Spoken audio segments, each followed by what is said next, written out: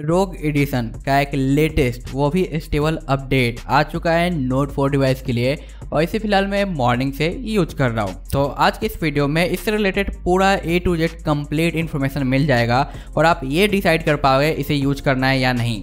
यहाँ पे आप देख सकोगे कि रोग का जो लोगो है, ये यहाँ पे चेंज देखने को मिलता है। और ये जो अपडेट है 12.5.3 का एक स्टेबल अपडेट है, जो कि नोट 4 के लिए देखने को मिलता है। ऑल स्पेक्स की बात करें तो यहाँ पे आपको देखने को मिल जाएगा एंड्रॉयड 10 जिसकी वजह से कुछ लोग काफ़ी ज़्यादा हैप्पी होने वाले हैं और कुछ लोग सैड होने वाले हैं। तो आप सैड वाले में से हो या हैप्पी वाले में से, आप कमेंट करके ज़रूर बताना।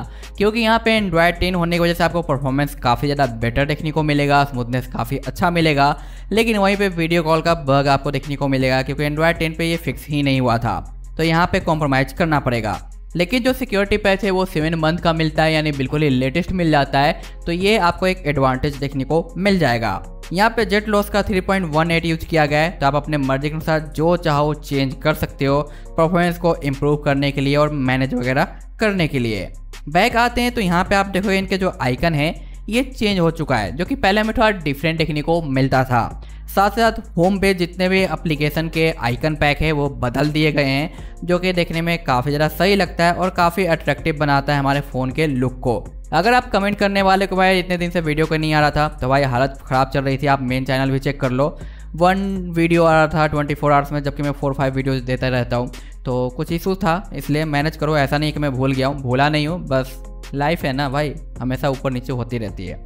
आगे बढ़ते हैं। यहाँ पे आपको मिलता है वॉलपेपर एंड पर्सनलाइजेशन जहाँ पे आपको देखने को मिल जाएगा वॉलपेपर के अंदर सुपर लाइव वॉलपेपर बट मैं कहूँगा भाई, इसे भूल जाओ, दिमाग में भी मत लाना इसे यूज़ करने का।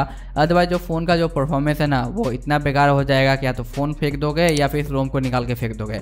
इसलिए इसे दूर रहना, ठीक है? यहाँ पे लाइब्रेरी में ऑनलाइन वॉलपेपर मिल जाएँगे जो कि आपको पसंद आएँगे। और हर बार की तरह सुपर लाइव वॉलपेपर के साथ आपको रोक एडिशन के कई सारे वॉलपेपर देखने को मिल जाते हैं, जो कि मेरे फेवरेट वॉलपेपर है। और यहाँ पे कुछ नए ऑप्शंस भी आपको देखने को मिलते हैं वॉलपेपर कलेक्शन का, जो कि मे बी आपके होम स्क्रीन के लुक को काफ़ी अमेजिंग साइज़ और डिज़ाइन देने वाले हैं। ऑलवेज ऑन के अंदर ए रिमूव्ड है, अच्छी बात है बैटरी ड्रेन करता है तो नहीं दिया गया। बाकी अदर ऑप्शन आपको वर्किंग देखने को मिलेगा और चार्जिंग एनिमेशन आपको रोग एडिशन वाला ही देखने को मिलेगा। यहाँ पे स्टेबल है तो कोई भी आपको जो ऑटो सनराइज वाला ऑप्शन नहीं मिलता।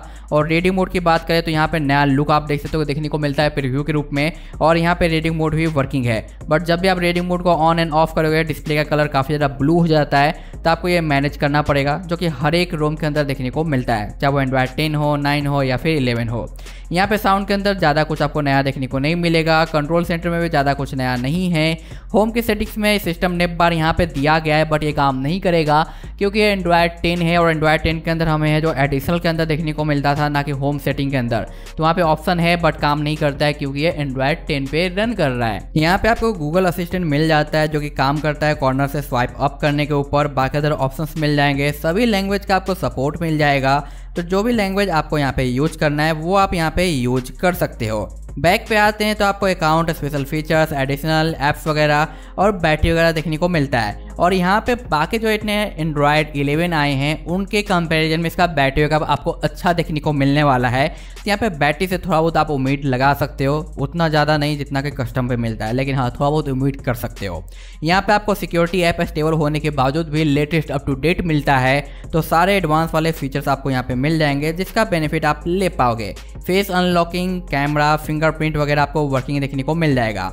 यहाँ पे अगर मैं अनलॉक करूँ तो आप देख सकते हो अनलॉकिंग काम कर रहा है, कोई दिक्कत नहीं आता है। तो इनमें आपको कोई इशू देखने को नहीं मिलेगा। बाकी यहाँ पे होम सेटिंग में वही सारे नॉर्मल से कॉमन से ऑप्शन आपको देखने को मिल जाएँगे, जो कि आप यूज़ कर पाओगे।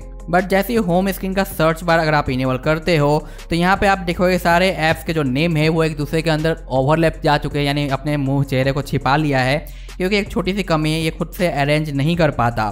तो आपको यहाँ पे होम के जो लेआउट है ना, उसे मैनेज करना पड़ेगा आइकन को स्मॉल करना पड़ेगा, तभी जाके ये टेक्स्ट आपको नज़र आएँगे, जैसे कि आप यहाँ पे देख पा रहे हो। तो अगर आपको सर्च बार इनेबल करना है तो आइकन पैक को थोड़ा छोटा करना पड़ेगा, तभी आपको ये देखने को मिलेगा अच्छे तरीके से वर्किंग तो ये भी चीज़ें यहाँ से आप कंट्रोल कर सकते हो। तो ये सब कुछ आपको सेटिंग के अंदर कस्टमाइजेशन देखने को मिलता है। रही बात टच रिस्पॉन्स तो वो मुझे काफ़ी सही लगा है। उतना ज़्यादा स्लो नहीं है तो उतना ज़्यादा फास्ट भी नहीं है बट ओवरऑल यूजेबल काफ़ी अच्छा खासा को देखने को मिल जाता है। तो टच रिस्पॉन्स में मुझे कोई भी शिकायत देखने को नहीं मिला।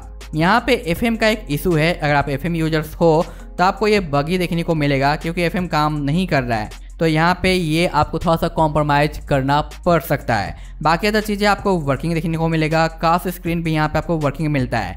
गेमिंग की बात करें तो भाई गेमिंग अच्छा खासा मिल जाता है बट आप हैवी गेमर्स हो तो उतना बेटर परफॉर्मेंस आपको नहीं मिलेगा।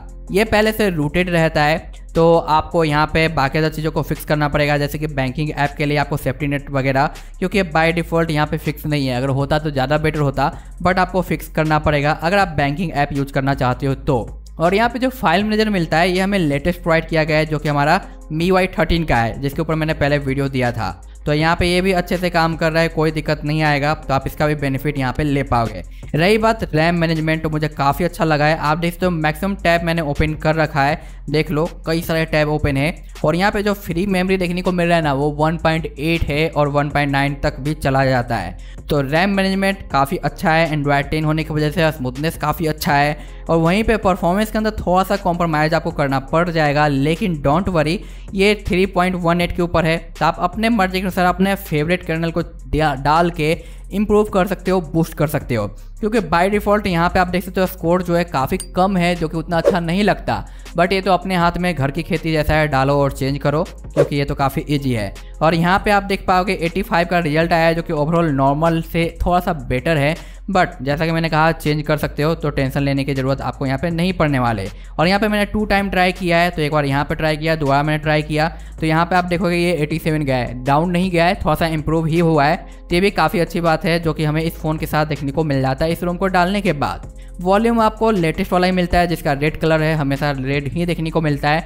बट आप डेवलपर के सेटिंग में जाके इसे चेंज कर सकते हो। और यहाँ पे जो आपका रीस्टार्ट का बटन है हर बार की तरह रोग एडिशन का जो अपना खुद का है ब्लैक टाइप का, वही आपको देखने को मिलेगा जो कि आप यहाँ पे यूज़ कर सकते हो। बटन लाइट आपको वर्किंग देखने को नहीं मिलता बट इसका जो हैप्टिक बटन है, जो फीडबैक है हैप्टिक फीडबैक वाइब्रेट वो काम कर रहा है। तो यहाँ पे अच्छा सा फील आपको देखने को मिलेगा, सिवाय लाइटनिंग के। और एक और चीज़ मैंने यहाँ पे नोटिस किया कि आप देखोगे, इसके और इसके बीच का जो गैपिंग है, ये कुछ ज़्यादा है। आप अपने होम स्क्रीन के साइज़ को थोड़ा बड़ा या छोटा कर लोगे, फिर भी वहाँ पे गैपिंग है जो थोड़ा ज़्यादा ही मुझे देखने को मिला है। तो ये आई थिंक मैनेज होना चाहिए था, जो कि देखने में थोड़ा अच्छा नहीं लगता बट यहाँ पे गैपिंग आपको देखने को मिल जाएगा। तो ये थोड़ा सा है, आप इसे चाहो तो इग्नोर कर सकते हो।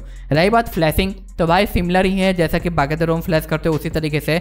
और ये रोम मुझे काफ़ी हद तक सही लगा है। तो अगर आप मी वाई लवर्स हो, आपको परफॉर्मेंस चाहिए और आप अपने मर्ज़ी के अनुसार उसके अंदर चेंजिंग करना चाहते हो तो ये रोम आपके लिए काफ़ी परफेक्ट होने वाला है। लेकिन आप एक गेमर्स हो, काफ़ी गेम प्ले करते हो तो भाई आप कस्टम रोम पे ही रहो, इस पर स्विच करने की ज़रूरत नहीं है, क्योंकि यहाँ पे उतना ज़्यादा दमदार आपको गेमिंग एक्सपीरियंस देखने को नहीं मिलेगा।